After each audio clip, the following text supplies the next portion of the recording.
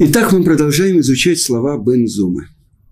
Мы говорили, кто мудрец, тот, кто учится у любого человека. И мы задавали вопрос, а если Творец предназначил, что какой человек будет, ну, не очень мудрец, скажем, глупец, так как же он может стать мудрецом? И мы говорили, что благодаря тому, что он любит мудрость, он может стать мудрецом. То есть это то, что, в принципе, тоже, надо сказать, э, в возможности человека изменить только, то, то есть выбрать. И э, в одной книге я прочитал, это э, Гделияу Шор, один из великих мудрецов Америки. Его сын приводит написана строчка э, в псалме царя Давида, 92-й э, псалму, псалом. «В эксиль лое винит зод». И глупец не поймет это. Зод – это. В чем разница между мудрецом и глупцом? Мудрецов говорит, э, глупец говорит, я не понимаю только это, а все остальное он думает, что он понимает. Принципиальное отличие мудреца – то, что он думает – что он понимает вот только то, что сейчас он учит, чуть-чуть углубился, вот только это он понимает. А все остальное у него закрыто, это нужно постигать. Разница между глупцом и мудрецом. Мудрец находится перед океаном, безграничным океаном мудрости Творца. И поэтому одну каплю он получает, и он получает великое наслаждение от этого постижения. И приводят наши мудрецы такой пример. Идет дождь, и рыбы выскакивают из воды, даже из реки, чтобы еще одну каплю дождя получить. Ну как, они же в воде находятся. Что же им еще эта капля? Вот это пример того, кто называется мудрец. Еще одну каплю. Сказано, что Иошо бен Нун, он постро, поставил свой шатер посередине горы. Что когда Моше будет спускаться с горы, он его проводит от середины горы вниз. Что это значит? За это время он сможет что-то от него получить. Вот это тот, кто любит мудрость. Почему Яушо бен Нун стал главой еврейского народа? Ведь э, когда объясняют комментаторы, послали 12 разведчиков. Одни, один из них был Иушо бен Нун. Какой его статус был в еврейском народе? Вы знаете, есть главы десятков, главы пятидесяти, главы сотен и главы тысяч. Ну, кем он был? Объясняют, он был только главой пятидесяти. Так как же он стал тем, кто стал главой всех еврейских мудрецов? Из-за чего? Из-за того, что он объясняет, первый приходил Бейт Мидраш, расставлял скамейки, из-за его любви к мудрости. И это та первая мишна, с которой мы начали. Определение Муше, тремя словами дать определение Муше. Муше, кто это такой? Кибель Тора Мисинай. Четырьмя словами. Тот, кто получил Тору Синая. А кто такой Иошуа? У ли Иошуа и передал ее Иошуа. И говорят наши мудрецы, лицо Муше как лицо солнца, а лицо Иошуа как лицо луны. У луны есть свой свет? Нет. Сказано в, э, в Широширим, Яфак или Вана, прекрасная, как луна. Почему? Потому что луна получает со, свет солнца. Это называется прекрасно. Ученик, тот, кто впитывает то, что дает ему Рав, и становится сам Равом, не подражая своему Раву, а открывая источник Торы в нем самом. Нет двух одинаковых, одинаковых людей, нет двух одинаковых отпечатков пальцев. Почему? Потому что это каждый человек индивидуальный, потому что это индивидуальное раскрытие Торы в этом мире. И то, что один – это один, его ход, его раскрытие, другой – совершенно другой. И это то, что мы говорили немножко, пытались понять, что это такое определение кто называется мудрецом по-еврейски. Тот, кто учится у любого человека, то есть тот, кто любит мудрость, а не себя как мудреца. Это принципиальное отличие. Теперь, второе определение Бензон. Кто называется герой? Герой Олимпиады, э, медали, завоевание стран, герой Советского Союза, я не знаю, космонавт, герой. Что же говорит Бензома? Кто называется герой? Тот, кто обуздывает свои страсти. А ковеш эт яцро не сказано победивший свое дурное начало, а побеждающий свое дурное начало. Ковеш – это яцро. То есть владеет собой. И это тут приводится строчка из э, Мишлей, из притчи царя Соломона. Тов эрахапаим мигибор, у Мошель Барухо милакет ир. Знаешь, что говорится? Лучше тот, кто долготерпеливый, чем герой, и тот, кто подчиняет свой дух, чем тот, кто завоевывает город. Значит, тот, кто владеет собой и сдерживает гнев, он лучше, чем тот, кто завоевывает город. Объясняет Рававадия Бартанура. Ну, побеждающий на войне, завоевывающий страны и так далее. Э, хорошо долготерпение, которое идет от душевной силы, сдерживающей страсти. Например, царь, он завоевывает какую-то страну. Когда он завоевал страну, он не казнит тех, кто воевали против него, хотя это в его власти. Теперь давайте посмотрим, как объясняют еврейские источники, что же это такое ковеш эт яцру, побеждающий свое дурное начало. И это то, что мы уже цитировали. Это трактат Кедушин. Что сказано?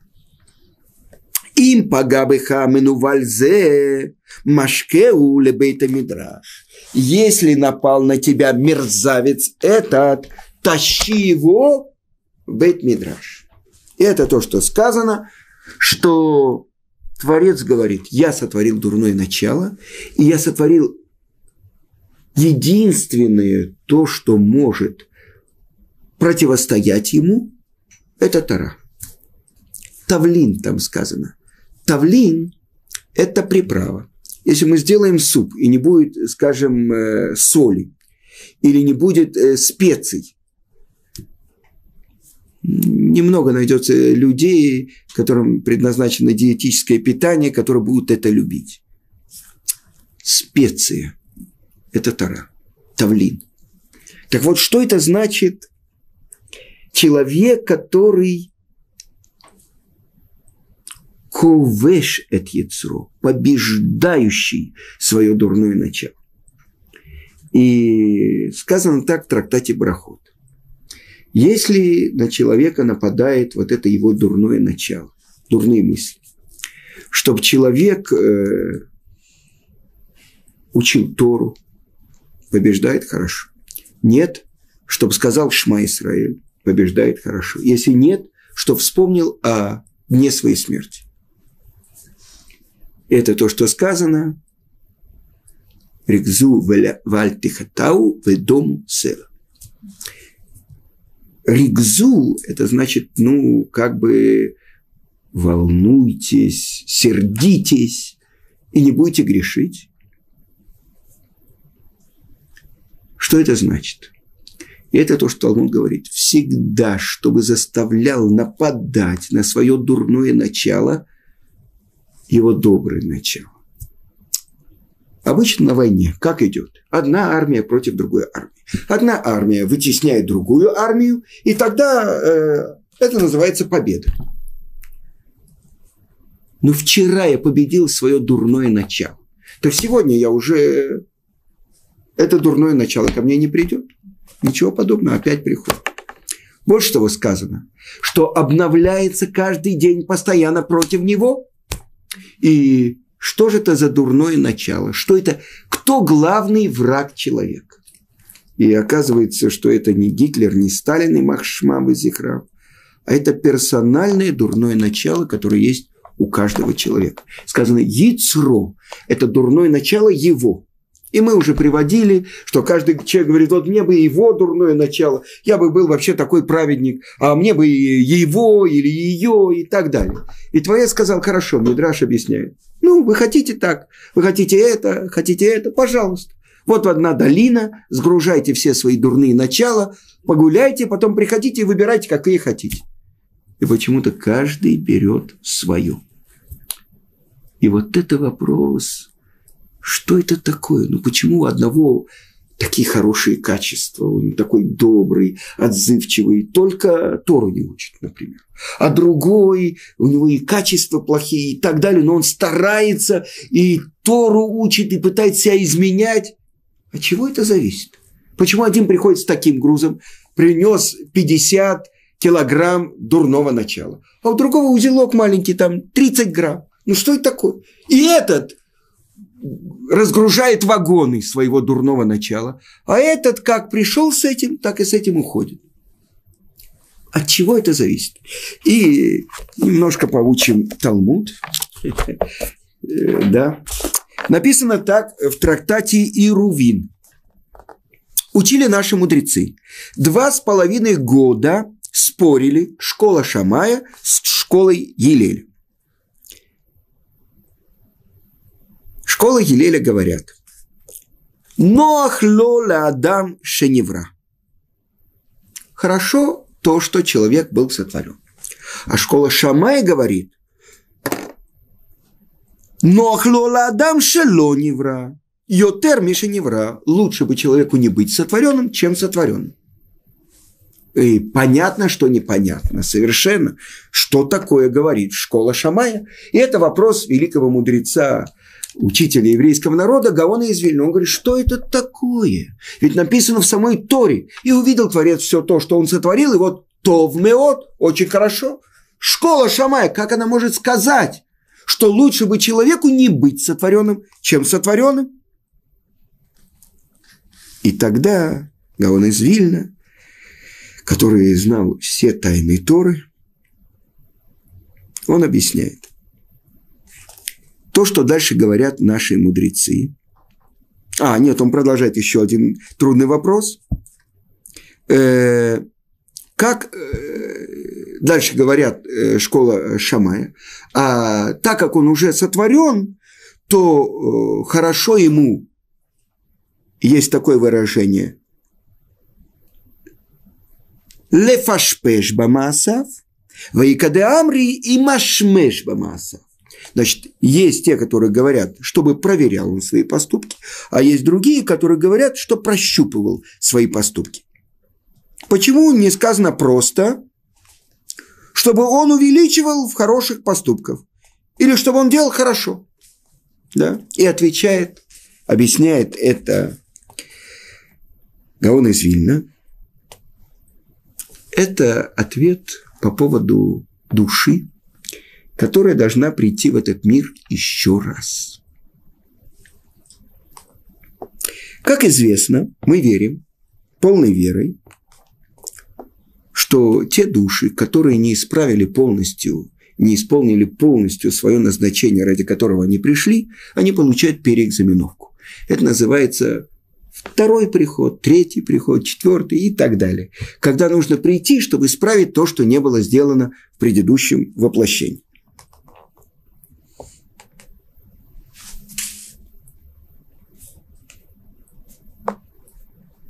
Как человек может знать, для чего он пришел, что ему нужно исправить? Когда был Ария Кодыш, он мог каждому человеку посмотреть на лоб и сказать, тебе нужно делать то-то, то-то, то-то.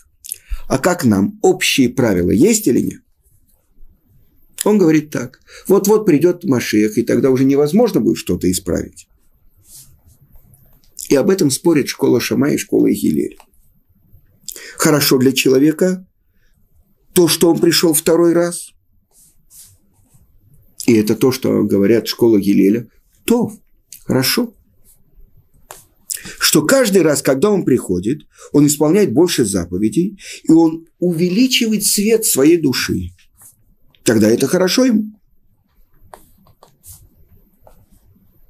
А отвечает ему школа Шамая. Лучше бы он в первый раз, когда пришел, все исправил. Поэтому ло нохло, нехорошо ему еще раз приходить сюда. Потому что здесь очень много опасностей. Ецер, вот этот вот то, о чем мы говорим, на каждом шагу Раби Моше Хаим Люцата говорит, на что похож наш мир?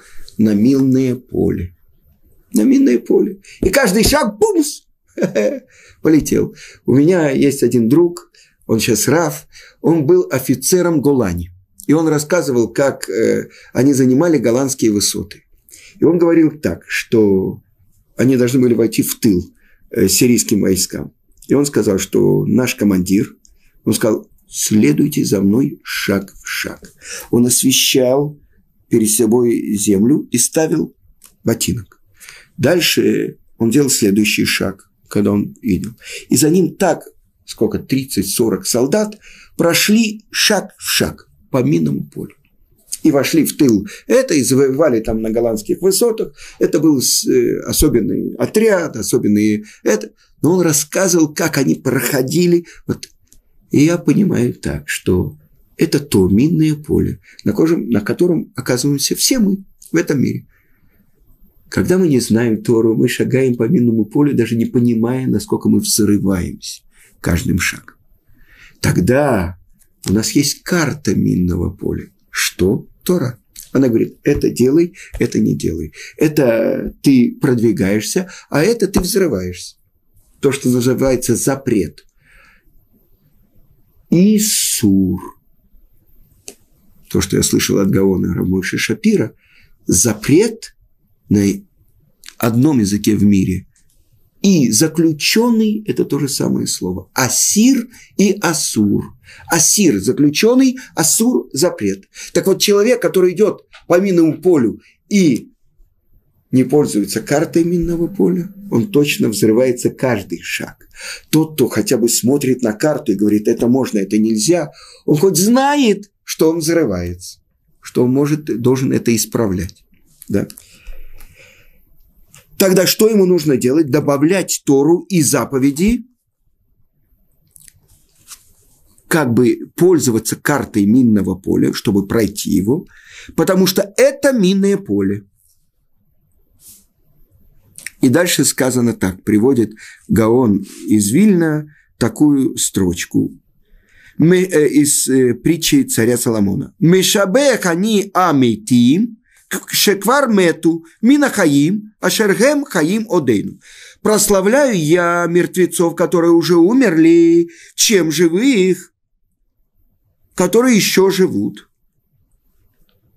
Потому что те, кто уже умерли и, оставили, и остались там, в мире истины, они пришли еще раз сюда, в дополнительное воплощение – они более прославлены, чем те, кто пришел сюда и должны опять сдавать все экзамены и, может быть, э, получать переэкзаменовки. Вы понимаете? И поэтому сказано, победила школа Шамая. Лучше человеку не быть сотворенным, чем сотворенным. А сейчас, когда он уже сотворен, он должен исправить это, ради чего он пришел. И как же человеку знать, в чем же его назначение в этом мире? Ради чего он пришел сюда? И это два выражения наших мудрецов. И пашпеш бамасав – проверить свои поступки. Или и машмеш бамасав – прощупает свои поступки. Что это значит?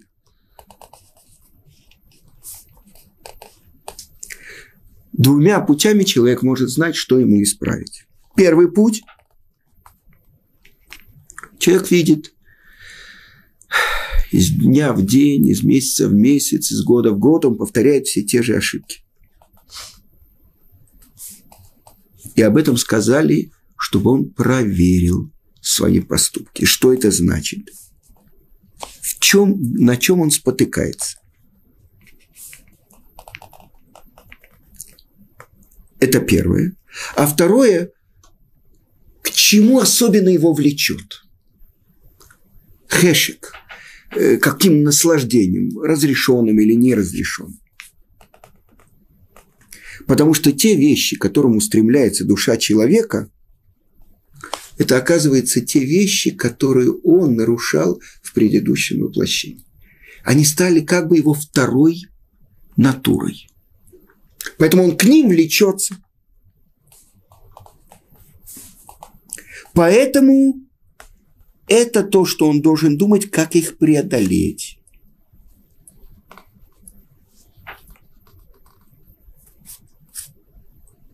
Так с одной стороны, те вещи, те заповеди, которые ему легки, это значит, в предыдущем воплощении он уже победил в этом свое дурное начало. А есть заповеди, которые ему очень трудные.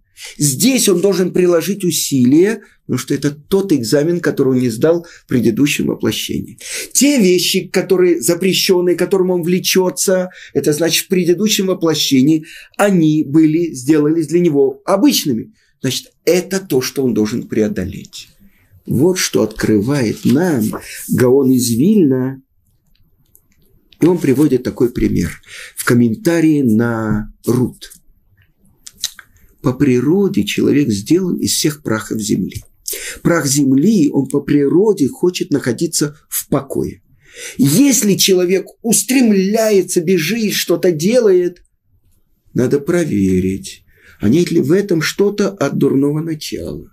Потому что объясняет Гаон из Вильна, как действует дурное начало.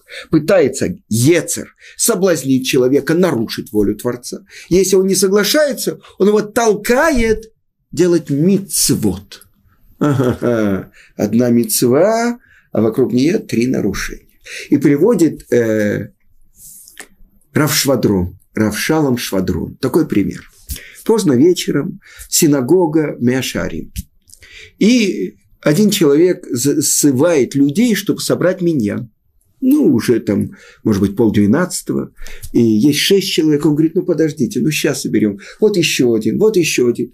И вот приходит десятым Раби э, Шалом Швадрон, и тот говорит, ну, все, начинаем. И вдруг, запыхавшись в синагогу, вбегает какой-то человек. Он говорит, ой, какое счастье, что есть миньян, разрешите мне помолиться, у меня йорцит, годовщина смерти моего отца. А человек, который собирал меня, говорит, что? У тебя йорцает, и ты не мог раньше прийти, именно потому что ты не мог раньше прийти, именно я буду молиться. И тогда Равшалом Швадрон сказал, это сейчас молится. И начинает молиться. Я в этом меня не, не участвую. Это молится кто? Эсав. Что это такое? Он же мецву делает. И он же отодвинул человека по шулханаруху, полагается, что должен молиться в этот день именно тот, у кого Йорция, а не просто человек. Он говорит, ты иди и себе собирай миньян. То есть он собирал миньян для чего? Чтобы он молился. Вы понимаете? То есть это мы приводим пример, как объясняет Гаон из Вильна, как действует Ецер. Да? Что это значит? Не получается соблазнить на нарушение, он соблазняет его, делай мецву, а вокруг эти все нарушения. И Равшал Мышвадрон вышел и не молился в этом миньяне. Потому что что такое? Мы думаем, Исав, ну вот это, э, ну как э, какой-нибудь злодей из э, э многосерийного американского фильма. Такие клыки, такие бицепсы и все. Или в детстве мы смотрели фильмы Чарли Чаплина. Помните, там такой идет. Это вот, а Чарли Чаплин маленький. Так вот это злодей, а это герой. Помните, это э, малыш. Чарли Чаплин делал, э, вставлял стекла.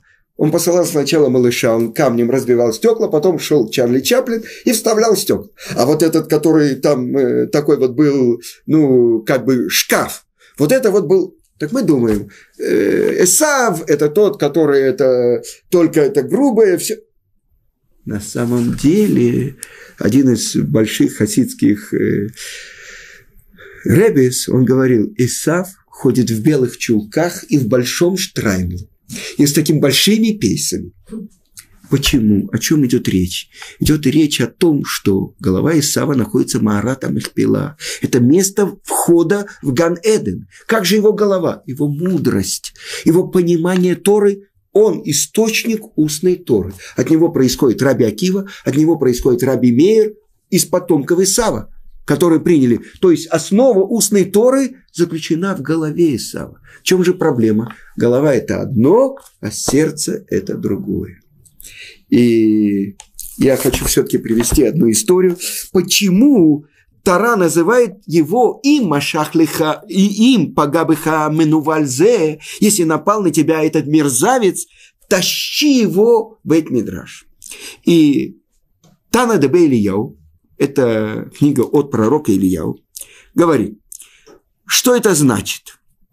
Почему дурное начало называется мерзавцем? Какой в этом смысл? И давайте посмотрим про первого представителя этого Менуваля, этого мерзавца. И это первый грех, который произошел в мире. И это змей, который называется этим мерзавцем.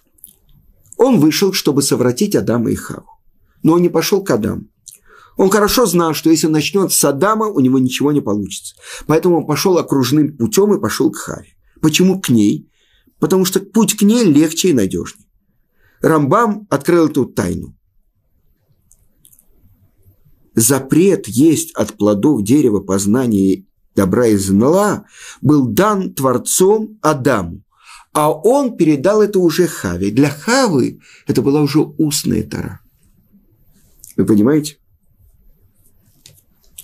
И тогда легче ввести в грех того, у кого запрет связан с верой в мудрецов.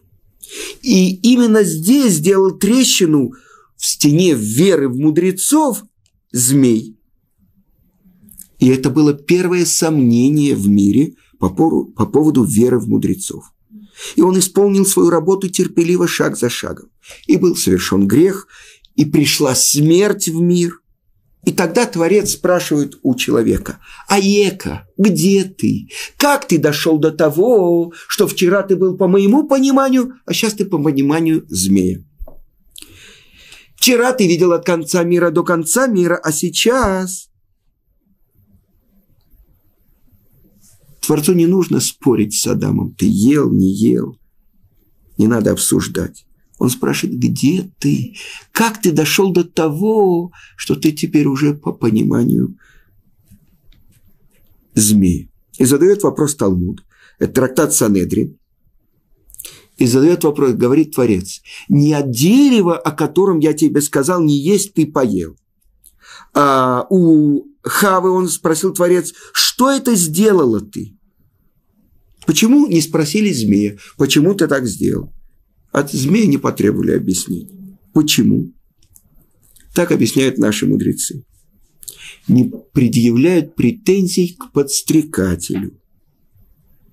Подстрекателю и соблазнителю не дают возможности оправдаться. И продолжает Демарай говорит – если бы, сказал Раби Симлай, если бы спросили у змея, чтобы он сказал, что вы спрашиваете меня? Спросите у тех глупцов, которые меня послушали. Слова учителя, самого Творца, или слова ученика, слова кого слушают.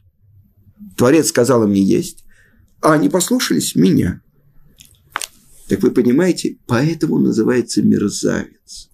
Потому что подстрекатель. И это сказано, Ецарара представляется самым близким и лучшим другом человека. Он говорит ему, делай так, делай так, потом поднимается наверх, доносит, получает право, спускается и забирает душу человека. У Ецарара, у Сатан, у Малаха Мавет. Он дурное начало, он тот, кто сбивает с пути, он ангел смерти. Так вот, что учит Бензома, тот, кто постоянно побеждает ковеш эт яцро. Он называется героем. Один человек может завоевать весь мир. Вы знаете, фараон, чтобы доказать, что он божественного происхождения, ходил в туалет в Нил. Сталин перестрелял даже всех, кто его окружали. Там его секретарь Поскребушев, его посадили уже перед самой смертью Сталина. Он рассказывал, что Сталин вставлял бумажки между его пальцами и зажигал. Так он его проверял. То есть он не верил никому. Он был в самой страшной тюрьме. Когда он подыхал от этого удара, да, никто не мог войти к нему. Вот это вот жизнь вот этих представителей Ецерара в этом мире. Поэтому это самая большая несвобода быть рабом Ецерара. И поэтому сказано, кто свободный, тот, кто учит Тору. То есть это сейчас мы только начинаем понимать, что если есть карта минного поля, тот, кто выбрасывает эту карту, он как минимум идиот. Но мы хотим быть мудрецами, и мы хотим быть героями, поэтому мы должны правильно понимать, что это такое. Этому учит нас великий учитель еврейского народа Бен Зома.